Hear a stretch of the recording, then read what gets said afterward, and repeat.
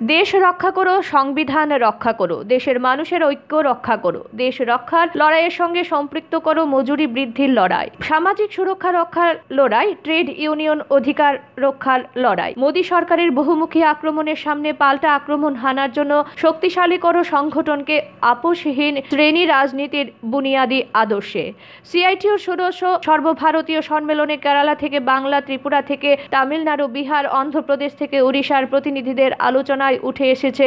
কঠিন সময়ের চ্যালেঞ্জ মোকাবেলা করে সম্মুখ পানে এগিয়ে চলার প্রত্যয়। কারখানার গেটে মজুরি বৃদ্ধির দাবিতে সভায় মানুষ জুটবে না যদি না ঐক্য থাকে মানুষে মানুষে।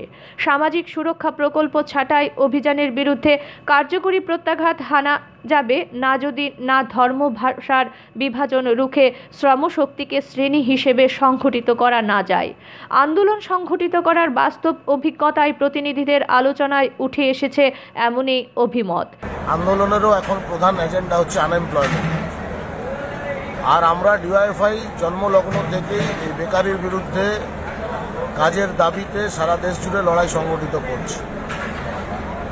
সেজন্য এখন গোটা দেশের যে ভয়ঙ্কর পরিস্থিতি বেকারত্বের অবস্থা নিয়ে আপনারা জানেন যে unemployment rate among the youth now six point one percent unemployment rate among the educated youth now 15 percent so very pathetic condition मैं ये सम्मेलन में कॉन्फ्रेंस में ये बोलना चाहूँगा कि अभी ये जो मेन मुद्दा है हमारा আনএমপ্লয়মেন্ট এইটাকে নিয়ে সারা দেশ জুড়ে সিআইটিউ এবং ডিওয়াইএফআই শুধুমাত্র কেন্দ্রীয় স্তরে বা দিল্লিতে নয়, একেবারে লোকাল লেভেলে গ্রামে গ্রামে, মহল্লাতে আমরা কর্মসূচি সংগঠিত করতে চাই।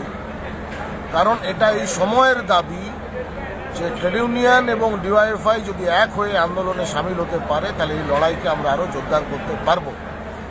এর সঙ্গে আমাদের গভর্নমেন্ট এনপিআর এনআরসি সিএ নাম করে যা করছে, এটা নিয়ে আমাদের পরিষ্কার বক্তব্য হচ্ছে যে এটা করা যাবে না।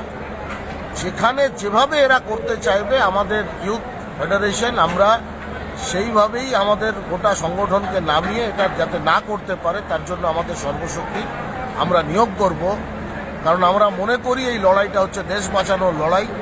এই দেশ বাঁচানোর লড়াইয়ে যৌথ আন্দোলন প্রয়োজন। আরও অনেক মানুষকে যুক্ত হওয়া প্রয়োজন। সবাই মিলে এই দেশ বাঁচানোর লড়াই আমরা যাতে সামিল হতে পারি সেই আহ্বান আমি এই সিআইডি কনফারেন্স থেকে আপনাদের কাছে রাখি। Bureau report Akash Tripura.